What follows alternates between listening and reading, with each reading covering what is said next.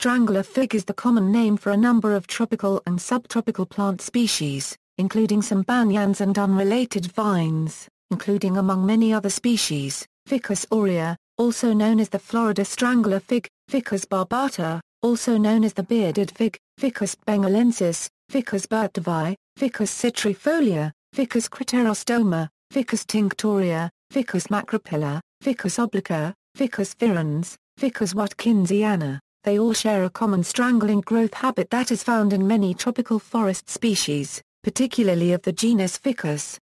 This growth habit is an adaptation for growing in dark forests where the competition for light is intense. These plants begin life as hemiepiphytes, when their seeds, often bird dispersed, germinate in crevices atop other trees. These seedlings grow their roots downward and envelop the host tree while also growing upward to reach into the sunlight zone above the canopy. An original support tree can sometimes die, so that the strangler fig becomes a columnar tree with a hollow central core.